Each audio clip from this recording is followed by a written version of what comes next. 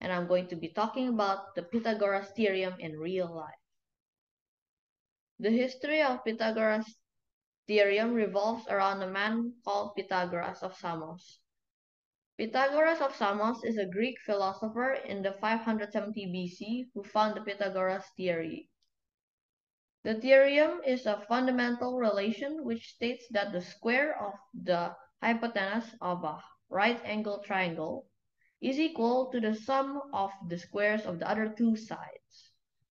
The mathematical statement is written as a squared plus b squared equals to c squared, in which c is the hypotenuse. There are several uses of Pythagoras' theorem.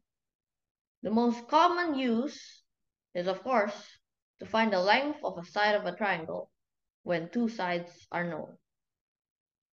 The second one is it can be used in construction or architecture. The third one, a plane can use Pythagoras to find out how far away it is from the runway if it knows, if it knows its altitude and the distance from it to the runway with a radar.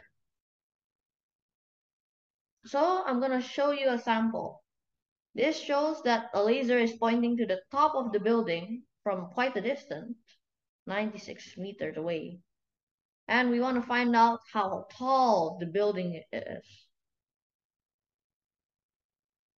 So in this in this diagram, A is shown as as the height of the building, B is the distance of of U to the base of the building, and C is is the diff is the distance of U to the top of the building.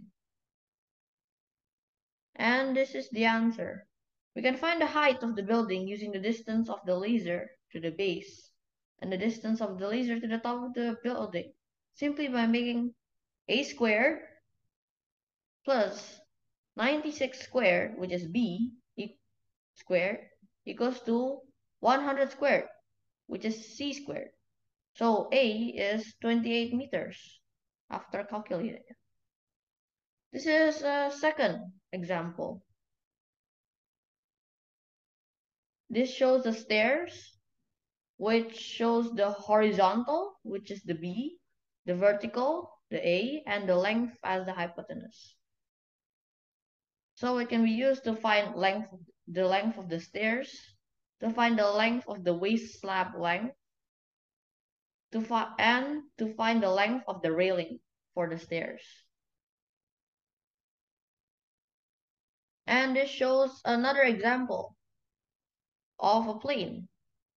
The plane is about to land.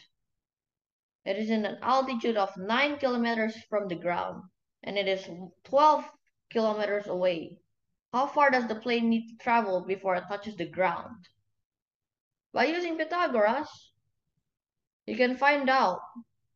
But while 9 kilometers is the A, 12 kilometers is the B, and C is the hypotenuse, which is how far the plane needs to travel before it touches the ground.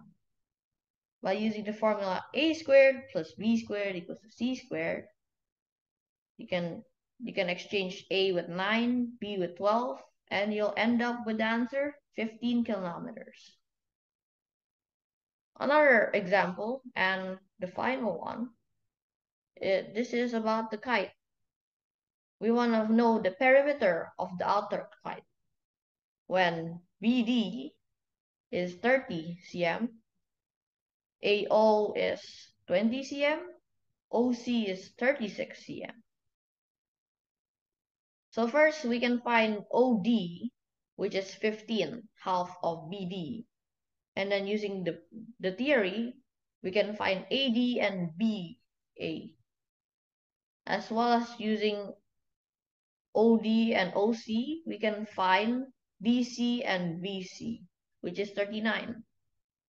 By combining it, we can get the perimeter, which is 128 cm.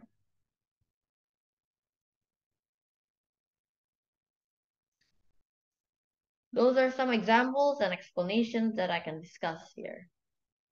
Thank you very much, and please give us your support and give us a like. As I repeat, my name is Frederick Ardigan from Bina Tunas Bangsa School in grade 8. I end my presentation here. I hope you enjoyed and learned something. See you next time. Bye-bye.